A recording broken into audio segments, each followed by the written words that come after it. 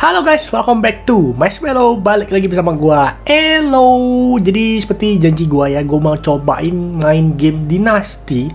Tapi gua nggak jadi mainin Dynasty Warrior yang M Di konsol ini ya. Ini adalah Retroid Pocket Flip namanya.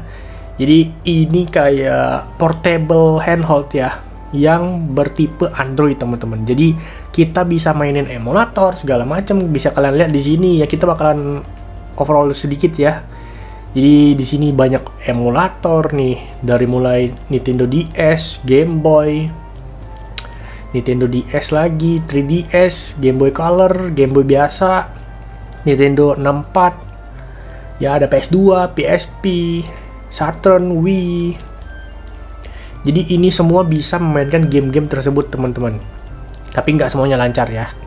Dan juga game ini, uh, konsol ini ya, Retroid ini bisa memainkan game Android. Salah satunya adalah Dynasty Legend 2, teman-teman. Nah, yang bisa kalian lihat di sini. Sehingga kita bakalan cobain untuk main ya di konsol ini menggunakan Retroid Pocket Flip ya, teman-teman. Oke, kita sudah login ya.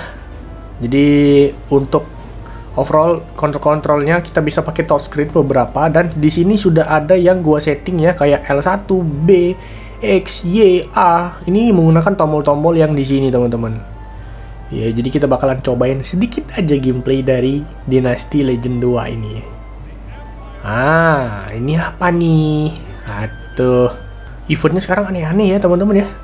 Oh, ini nih. Ini adalah tampilan awalnya ya teman-teman. Jadi seperti yang kalian lihat, ini beneran running di Retroid Pocket Flip ya. Nih, gua gerak ke atas, gua gerak ke bawah pakai analognya dan segala macem. Dan kalau misalnya untuk muter-muter gini, dia memang dia masih belum bisa ya teman-teman. Dan ini adalah untuk performa dia. FPS stabil di 40 sampai 50-an. Nih, kadang 60, CPU-nya segitu, memorinya segitu. Karena ini cuma pakai RAM 4 GB ya, jadi agak ngos-ngosan juga sebenarnya teman-teman. Dan ini uh, jujur gue running di uh, paling low ya. Kita setting di medium deh.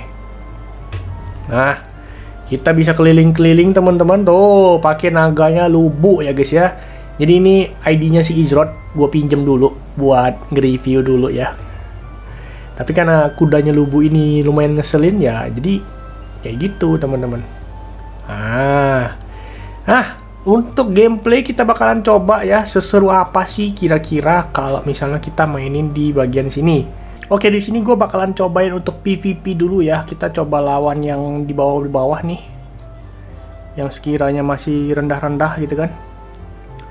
Kita lawan yang ini, challenge nih ya. Kita trial dulu guys, karena ini pasti kaku banget main yang kayak gini kan. Oke, L1 untuk mobility ya. Tuh, set. Ih, dih, langsung mati dong.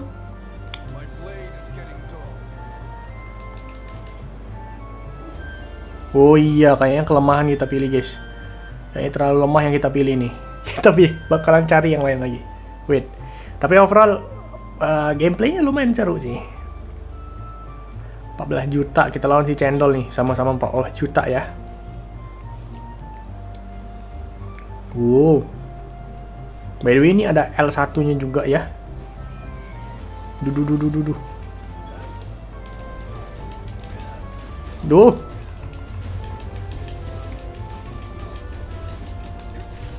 Kabur dulu guys. Hmm kalah kita masih pembiasaan dulu ya guys ya.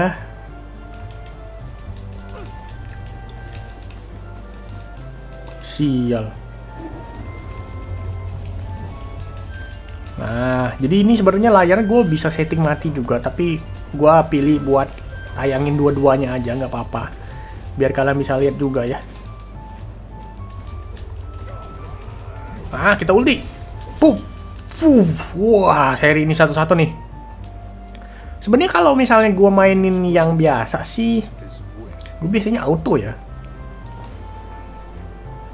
Tapi karena ini uh, gue lagi mainnya di handheld gitu ya.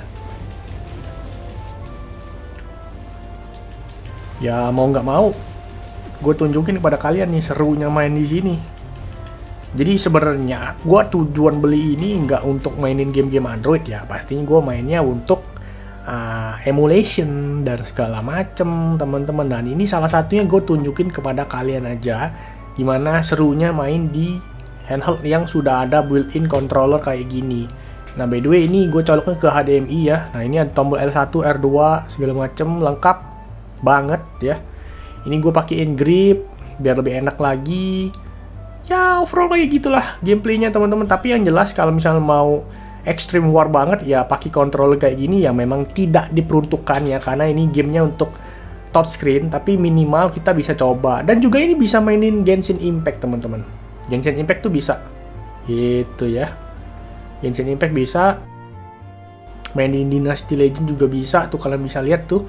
Grafiknya di medium uh, lumayan lah ya. Tapi kita better di low aja palingan kayaknya. Karena di RAM sudah lumayan kemakan tuh gitu suhunya juga lumayan ya. Kalau ini runningnya memang di antara 50 sampai 70 derajat teman-teman. Karena ini handheld yang compact ya. Sudah ada built-in kipas juga jadi jangan takut kalau misalnya suhunya panas overheat segala macam sudah ada built-in kipas jadi nggak usah khawatir. So far itu aja sih gameplay yang ingin gue tunjukin. Ya nggak terlalu banyak karena ini game memang tidak diperuntukkan untuk uh, pakai gamepad teman-teman. Kecuali kayak Genshin Impact mungkin bisa full gamepad ya, pakai gamepad itu bisa. Tapi kalau misalnya game ini gue cuman memaksa untuk bisa pakai gamepad. Tapi overall kalian bisa lihat ya gameplaynya smooth, tidak patah-patah. Ini gue coba gerakin pakai analog ya, biar ngubah tampilannya ini bisa tapi dikit-dikit guys.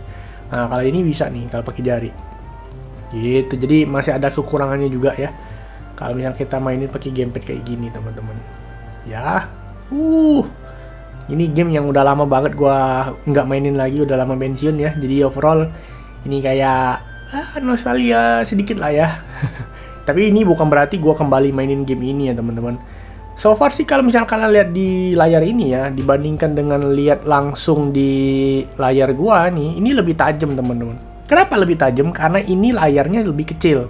Kalau ini kan gue upscale ke layar yang lebih gede, otomatis dia kayak pecah. Tapi kalau misalnya kita lihat langsung ya, gue nggak tahu apakah webcam gue yang kambing satu ini uh, lumayan jelas ngerekam. Tapi yang jelas ini pixelnya lebih rapat teman-teman. Lebih enak lah, gitu. Apalagi nih ya, apalagi kalian masuk ke emulatornya. Kayak kita mainin si PlayStation 2 gitu ya. Nih kayak gini nih. Uh, game yang lagi gua mainin itu Initial D Special Stage nih teman-teman. Nah ini nih. Duh. Nah ini nih. Banyak versi. Initial D.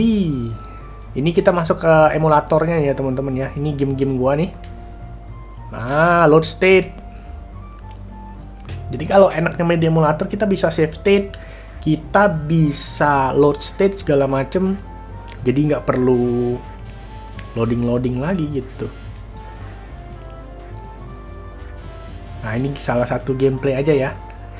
Gue bakalan tunjukin ke kalian salah satu gameplaynya. Nah, ini kita pakai Takumi segala macem. Kita pakai mobil asal dulu ya. Kita tunjukin sedikit aja, sedikit. Nah, ini karena dia bahasa Jepang tapi ditranslate sama si fanboy gitu ya. Nah, di pojok kanan atas kalian bisa lihat untuk performa segala macem ya. Mungkin bakalan ada frame drop dikit, bakalan ada settingan-settingan sedikit biar lebih maksimal aja sih. Nah, mantap nih guys. Jadi untuk full review unboxing segala macam nanti gue bakalan edit dulu ya karena videonya lumayan panjang sih kalau mau diedit jadi gue bakalan atur skripnya dulu dan segala macam tapi overall barangnya sudah gue coba udah gue coba mainin dan segala macam kalian bisa lihat di sini. Mana ini ya? Gasnya gue lupa dipencet apa? X kayaknya.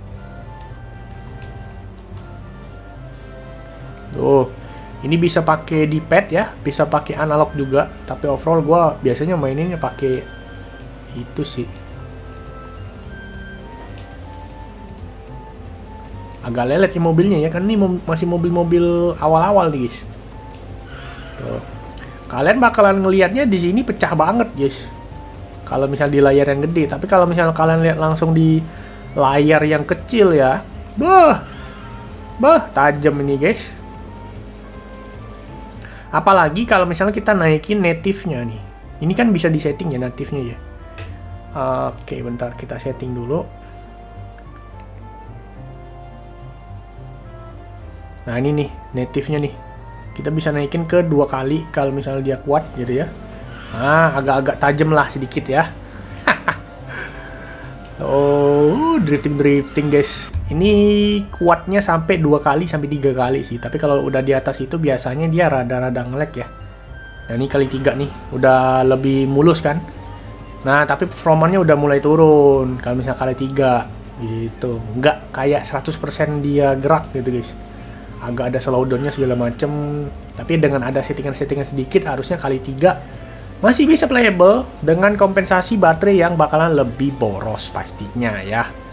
Uh, ini nih kalau misal lihat di atas tuh ya merah-merah tuh berarti dia dia nggak running 100% full. Bakalan ada sedikit slowdown. Uh ya kurang lebih itulah teman-teman. Untuk gameplaynya overall sih. Ini cuman buat uh, showcase aja ya showcase atau pamer-pamer sedikit lah. Kalau misalnya sekarang udah ada handheld yang include gamepad segala macem dan bisa mainin game-game Android juga. Gitu. Oke? Okay. kurang itu aja. Jangan lupa di like comment share dan juga subscribe kita jumpa lagi di video berikutnya. Bye bye ciao